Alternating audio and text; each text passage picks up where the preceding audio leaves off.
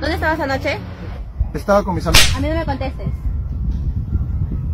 ¿Dónde estabas anoche? Responde. Pero me ha dicho que no te responda. No me respondas así.